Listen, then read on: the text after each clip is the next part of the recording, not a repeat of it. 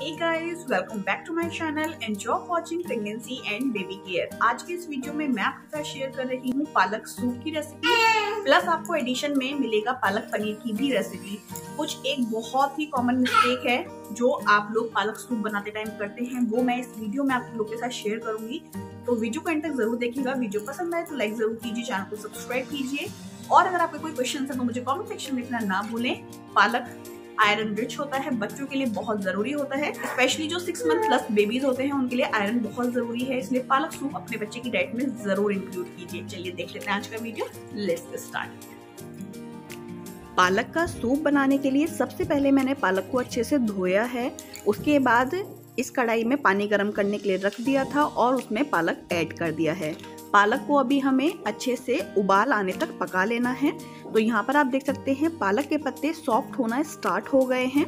तो अभी हम इसको लगभग दो तीन मिनट और पकाएँगे। मीन्स इन टोटल आपको सात से आठ मिनट पालक के पत्तों को खोलते हुए गर्म पानी में पका लेना है। तो यहाँ पर पालक के पत्ते अच्छे से बॉयल हो गए हैं। इस स्टेज पर हम फ्लेम को ऑफ़ कर देंगे और अब हम इसको स्ट्रेन करेंगे, यानी कि छान लेंगे। तो मैंने यहाँ पर फ्लेम को ऑफ़ कर दिया है और एक स्ट्रेनर, यानी कि छलनी रख ली है। तो मैंने यहाँ पर पालक का सारा पानी निकाल दिया है। अब आप चाहें तो इसको ठंडे बर्फ़ के पानी में भी डाल सकते हैं, नहीं तो इसके ऊपर ठंडा ठंडा पानी भी डाल सकते हैं, ताकि इसकी कुकिंग रुक जाए। और यहाँ पर हमारा पालक है बिल्कुल तैयार। अब हम इसको ग्राइंड करेंगे। उसके पहले हम थोड़ी सी तैयारी कर लेते हैं। तो मैंने यहाँ पर ली हैं छः से सात लहसुन की कलियाँ और एक हरी मिर्च। अगर आप चाहें तो हरी मिर्च को अवॉइड भी कर सकते हैं। लेकिन अभी मेरी बच्ची थोड़ी बड़ी हो गई है तो मैं यहाँ पर मिर्च ऐड कर देती हूँ। थोड़ा सा बच्चों को मिर्च का फ्लेवर भी आना ज़रूरी है। तो यहाँ पर मैंने लहसुन और मिर्च को अच्छे से क्रश किया है। आप चाहें तो मिर्च को ना डालें। अब मैंने यहाँ पर मिक्सर जार में जो पालक हमने स्ट्रेन करके रखा हुआ था, वो भी ऐड कर दिया है और अब हम इसको कर लेंगे मिक्सर ग्राइंड तो यहाँ पर आप देख सकते हैं कि बहुत अच्छे से ग्राइंड हो गया है। कढ़ाई में मैंने वन स्पून घी ऐड किया है और जो अब हमने लहसुन और हरी मिर्च क्रश करके रखी हुई थी, वो मैंने यहाँ पर ऐड कर दी हैं। लहसुन और हरी मिर्च को क्रश करने के बाद ही ऐड करें। इसको काट कर ना डालें अदरवाइज़ इसका जो फ्लेवर होता है, वो अच्छे से नहीं आता है। तो हमेशा लहसुन क्रश करने के बाद ही डालें, यानी कि कुछ कुचालें अच्छे से ओखल में। तो जैसे ही लहसुन अच्छी सी पक जाएगी, फिर मैं यहाँ पर ऐड करूँगी थोड़ी सी हल्दी, ताकि हल्दी भी अच्छे से पक जाए। और फिर अब मैं आपको दिखाती हूँ कि जो हमने पालक ग्राइंड किया था, वो कैसा है। तो यहाँ पर आप देख सकते हैं कि पालक में कितना बढ़िया ग्रीन कलर आया है, एकदम परफेक्ट है। इतना सुंदर सा ग्रीन कलर आया है तो बस चलिए अब सूप बनाने में ज़्यादा टाइम नहीं लगना है, क्योंकि पालक बॉईल हो गया था ग्रेवी बन गई है, इधर लहसुन, मिर्च और हल्दी भी पक गई है तो बस अब इस स्टेज पर आप यहाँ पर ऐड कीजिए पालक की प्यूरी जो आपने बनाकर तैयार की है। आपको सूप की थिकनेस जितनी रखनी है, उसके अकॉर्डिंग आपको यहाँ पर पानी ऐड करना है। तो मैं यहाँ पर थोड़ा सा पानी भी ऐड कर दूँगी।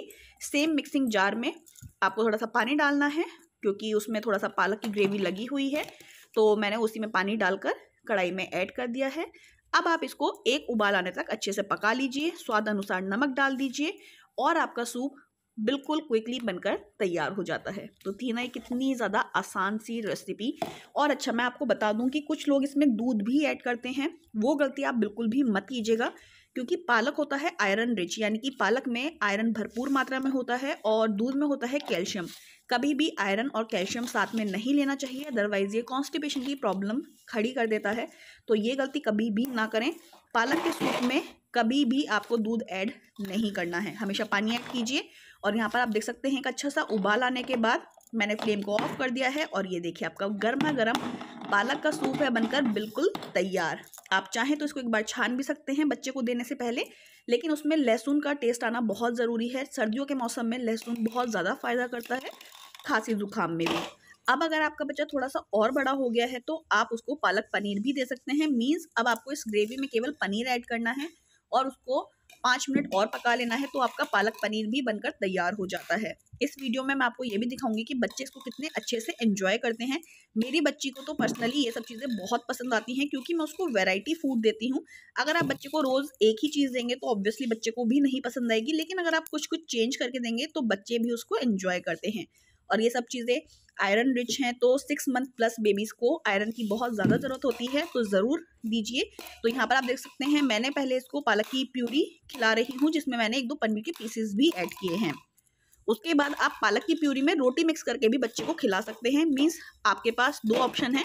आपको जैसे अच्छा लगे, जैसे आपके बच्चे की रिक्वायरमेंट है, उसके अकॉर्डिंग आप बच्चे को खिलाइए। तो यहाँ पर आप देख सकते हैं पालक की प्यूरी बहुत ही मज़े में खा रही है बच्ची। ऐसा बिल्कुल भी नहीं है कि उसको पसंद नहीं आ रही है। सो आई होप कि ये सिंपल सी इजी सी रेसिपी आपको काफ़ी पसंद आई होगी। अगर वीडियो पसंद आए तो लाइक कीजिए चैनल को सब्सक्राइब कीजिए।